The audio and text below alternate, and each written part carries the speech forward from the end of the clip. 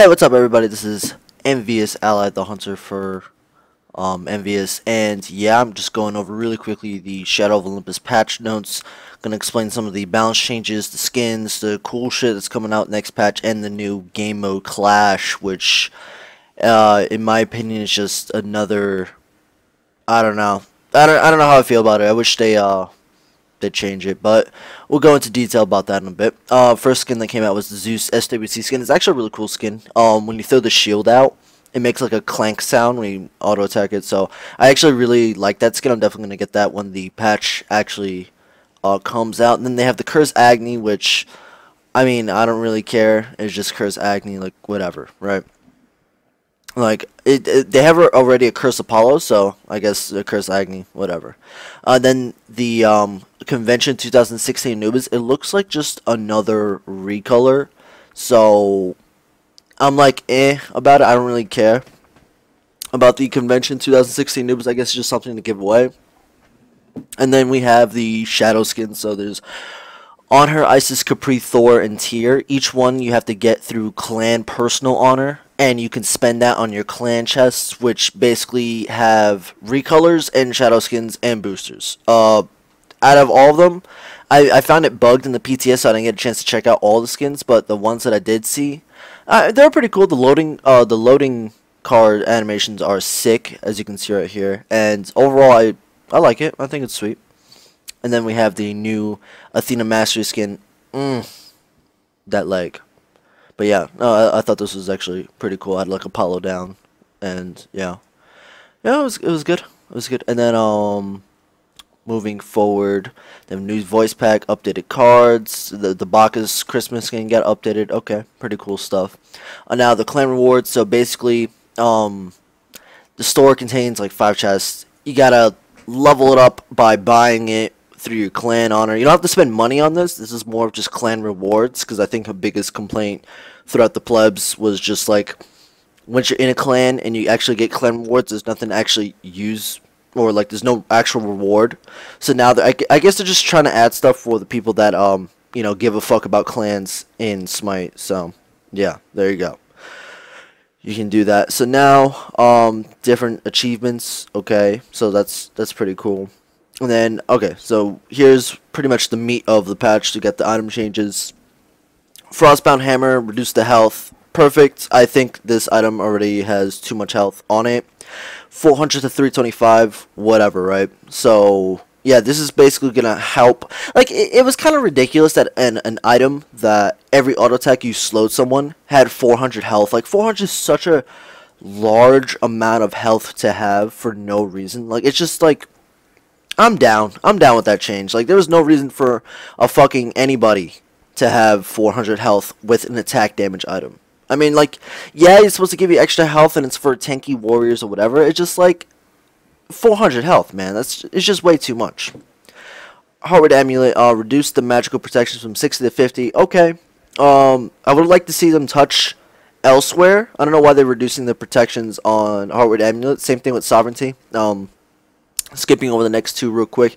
Sovereignty reduced the physical protection from 55 to 50. It's it's okay. I think they're trying to touch a little bit on supports without actually changing too much of supports. But those are generally the core support items. And I guess it's going to make support squishier but a little bit. But uh, I don't think that was the major problem. But whatever, right? Like, I don't, I don't mind. Whatever is not going to change anything really. Supports are still going to build Heartwood, and they're still going to build Sovereignty, and they're still going to be the core items. They're just not going to be as tanky. Whatever. Mystical Mail, uh, huge nerf. Huge, huge, huge, huge, huge. Um, reduce the health from 300 to 220.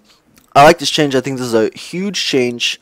Uh, just because, I mean, I still think people are probably going to default and build Mystical Mail. I think the passive is still going to be good.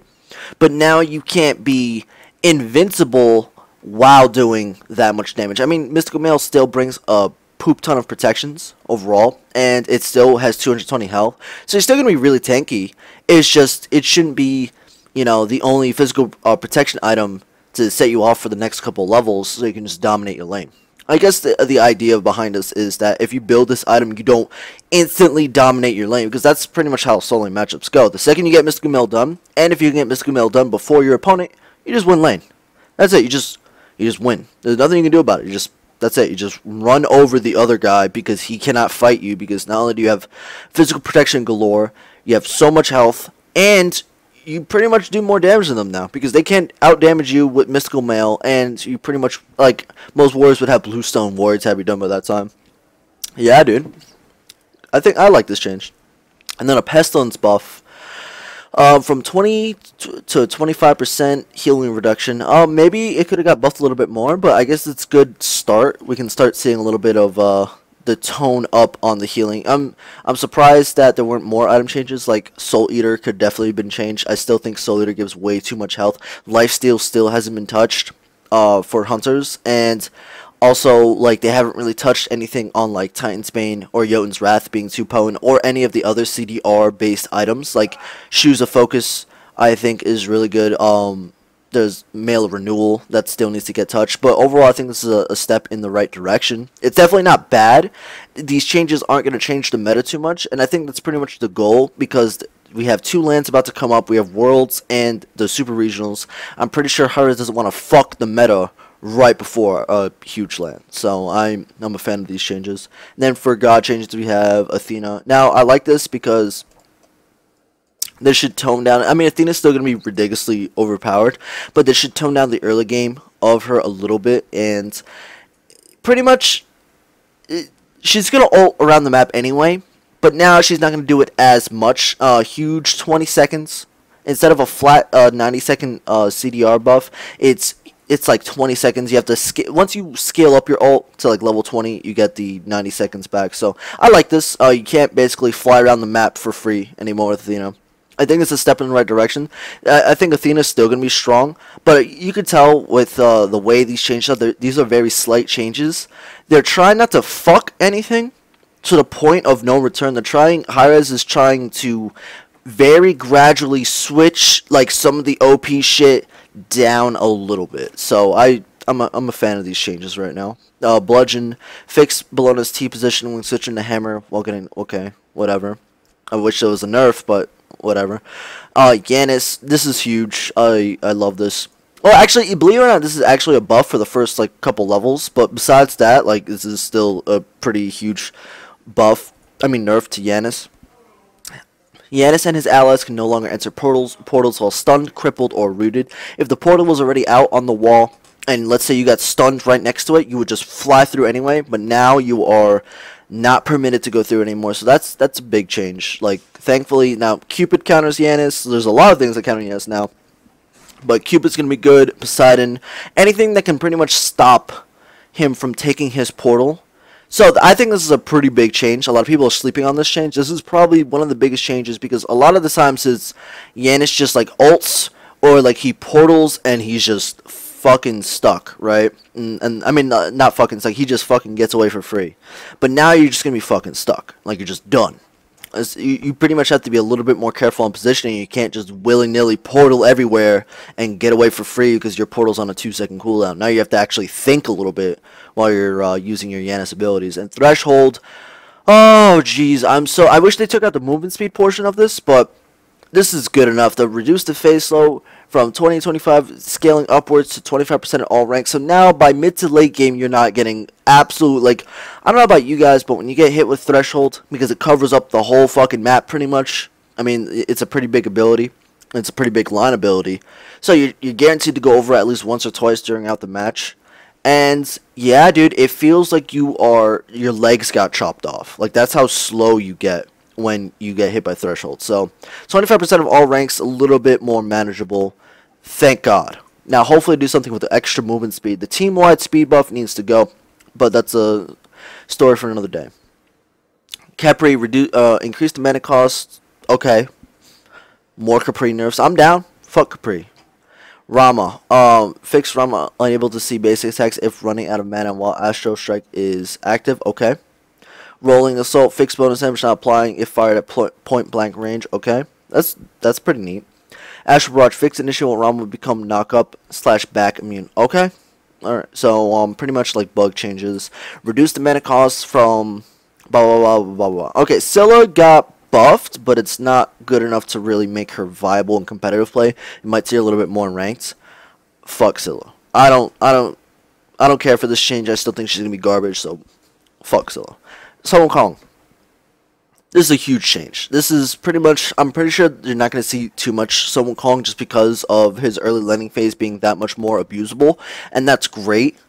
At the same time, um, I don't think it was pretty much the core of Sun Kong's problems. I think Sun Wukong has too many spammable abilities with the the Bluestone Pendant being around, being able to apply that makes him really annoying to deal with.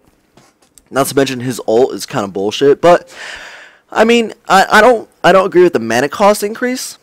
Even though that is going to help, especially if you don't have blue buff. Like, let's say you get blue buff taken from you. Having Magic Co uh, Cudgel cost like 90 mana.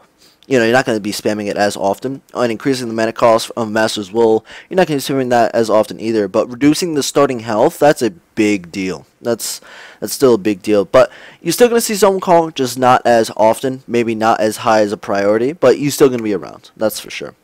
And then Zeus, um, Aegis Assault often moves too fast for players. Okay, so this is probably just for newer players, um, you know, not getting hit with a billion damage of poke, and they're like, what the fuck, man?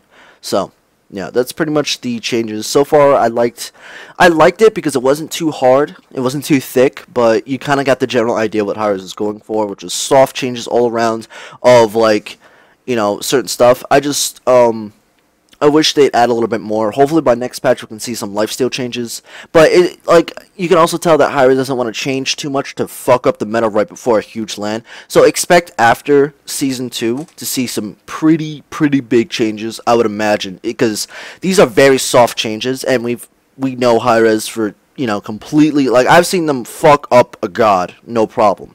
So yeah, uh, I would imagine after the LANs they probably uh they probably lay it on a little thick. So we'll see until then. But for now, I, I could take these. Well, thank you guys for watching. Make sure you leave a comment if you liked the video. And I'm out. Peace.